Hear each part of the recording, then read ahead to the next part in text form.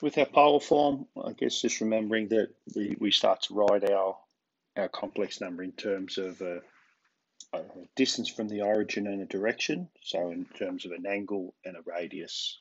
Uh, so that's the key things there. So we've got some properties there. We're sort of saying A is R sine theta, B is R cos theta, the modulus, the square root of A squared plus B squared. And the angle we call the argument of Z. Yeah.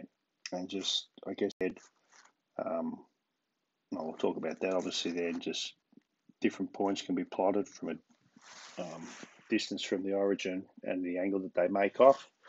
Um, what's really important is just getting clear in your head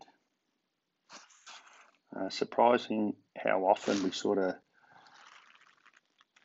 pi on six, so sort of 30 degrees, 60 degrees, 90 degrees. Just make sure we get the the right ray when we're marking the um, marking the angle. Um, clearly, we can write express a complex number in multiple values when we start talking about angles in a circle.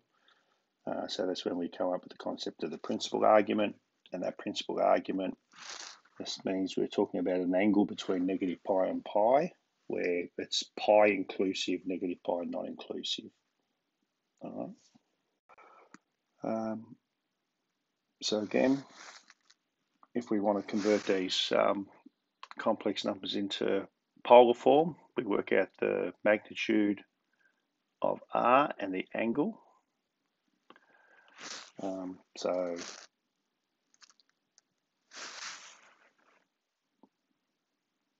the magnitude of r is the square root of 1 squared plus 1 squared, which is just root 2, and the angle tan theta is imaginary over real.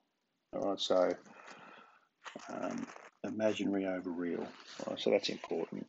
And then we just plot the point and make sure we're in the right quadrant. So tan inverse of 1 is pi on 4. So obviously the angle could be in the first quadrant or the third quadrant. But 1 plus i is in the first quadrant. So we end up with root 2 cis pi on 4. Uh, similarly, negative 1 plus i puts me in the second quadrant. Um, square root of 1 plus 1 is still root 2.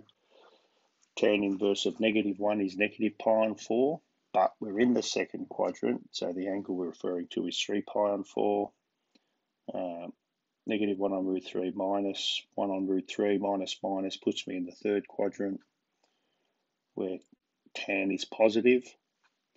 The angle we get is a, a pi on 6. Um, so we end up with 2 thirds cis, third quadrant, negative 5 pi on 6. Yeah, so you you know, you might be inclined to put a 7 pi on 6, but it's about putting that principal argument between negative pi and pi.